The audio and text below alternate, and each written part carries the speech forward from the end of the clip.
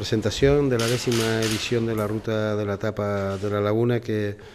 yo creo que es un, año especial, no solamente por el décimo, sino porque bueno, el inspirador, el creador, el que bregó durante mucho tiempo para que llegáramos a la décima, pero sobre todo para que se iniciara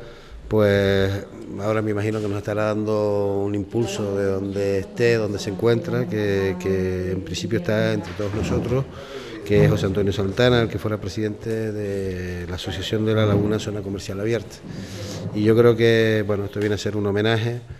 eh, en esta décima edición a esa persona, a ese profesional que desde luego impulsó luchó, eh, nos recriminó, pero desde luego consiguió